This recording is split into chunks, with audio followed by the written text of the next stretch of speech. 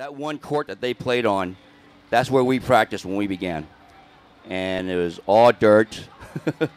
so after every practice or during practice, we're breathing up dust and uh, spitting out gnats. I hesitate to actually call it volleyball because nine man has so much more significance to the Chinese community. It gives our youth the opportunity to be competitive and to be able to do good in a sport that they're good in and one that will, you know, also enhance our, our culture, um, our Asian American culture.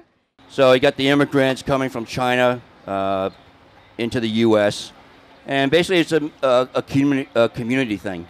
Uh, it's a way to get together once a year and socialize with all your friends from your villages um, and other parts of Taisan.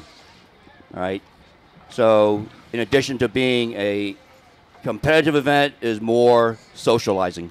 You know, I remember uh, as a kid when I first started nine man, uh, all these older guys they just basically all knew each other from all the different villages. There was no heroes in the uh, our community. We could never identify with a, a Sandy Koufax or whatnot because that was a different society. So our sports heroes and our cultural heroes were the volleyball players.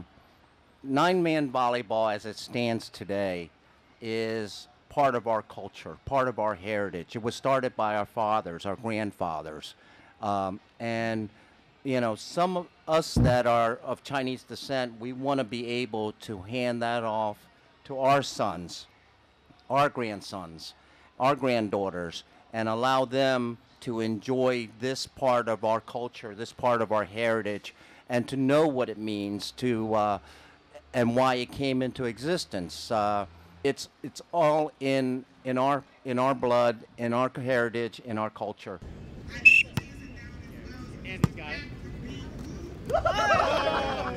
One one.